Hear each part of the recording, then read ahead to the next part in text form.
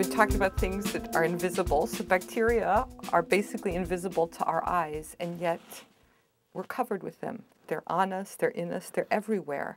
And scientists have known about bacteria for almost 400 years. And what bacteria are are these primitive single-celled organisms. That the way that they grow is they just grow twice their size, they cut themselves down in the middle, and then one becomes two. And so for all of these 400 years, everyone has thought that these bacteria are so primitive that they're just out there acting like these little asocial organisms.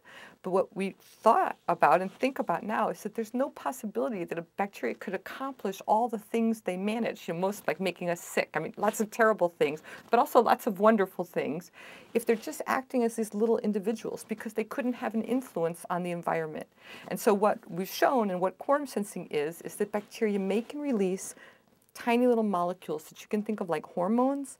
And so as the cells grow in numbers, these molecules grow on the outside of the cells.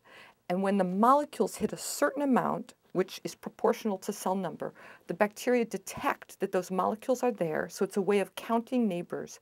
And then all the bacteria change their, their behavior in unison. And so they start carrying out tasks as enormous groups instead of trying to accomplish these tasks as individuals. And I mean, so it's just like what we do. You know, if you need to move a piano from here to there, you don't do it yourself. You wait, you get all your friends, and then you go one, two, three, and everybody does it together. And so, it, so we call it quorum sensing. So they sort of vote with these chemical votes. They count the vote, and then they say we have enough to do it, and then they do it, whatever it is.